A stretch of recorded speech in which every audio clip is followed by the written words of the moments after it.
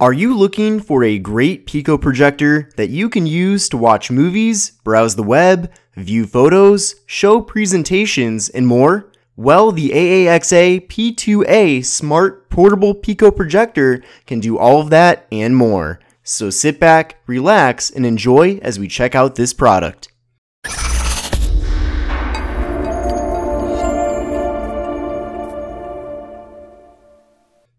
The P2A is unique because not only does it do everything that traditional projectors can do, but it also runs the Android operating system, which means that the software features that we love from Android are built into this unit. Before we dive more into the features, let's take a look at what's included in the box. We have a remote, a mini tripod, an analog to 3.5mm audio cable, a wall adapter, a small pamphlet, and the actual device itself. Looking at the projector, on the front we have the lens and a cooling vent. On the left side we have the focus toggle and another cooling vent. On the right side we don't have anything at all. Then on the top we have the select and back button. On the bottom we have a universal tripod mount and four padded feet. And finally on the back we have a lot of ports. We have a micro USB port, a mini HDMI port, a 3.5mm headphone jack, a small speaker, an AV port, a USB 2.0 port, a large cooling fan, a power button, a DC in port, and micro SD. It also features Wi-Fi and Bluetooth. The device features a 130 lumen optical engine, smartphone mirroring for compatible devices, and an internal battery that can power the device for 115 minutes.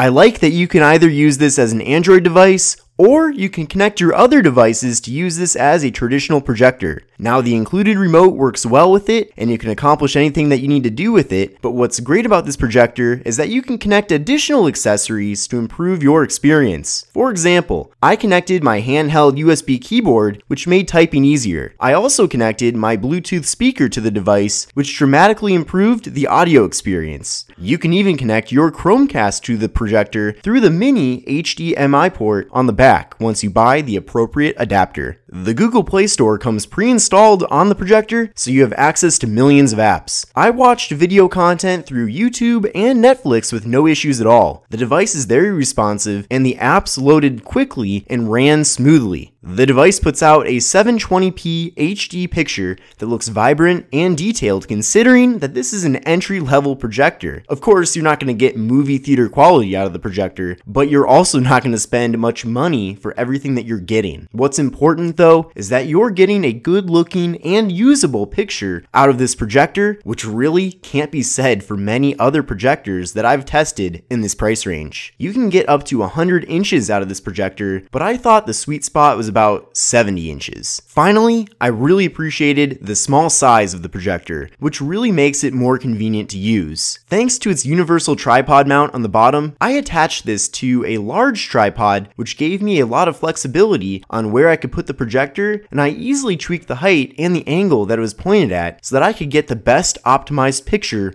on my wall. So in conclusion, I think this device is a great offering from AAXA. I found the built-in Android operating system to be a great feature because it opened so many uses for this projector. Combining that with its small size, built-in battery, and clear and colorful picture, this is a winner. I think this is great for someone who wants to buy their first projector and isn't wanting to throw down thousands of dollars. Hopefully you found this review to be helpful, and I'll see you in the next one. Now I have Amazon links for the projector and everything else that I mentioned in this video in the description. So thanks for watching and have a great day.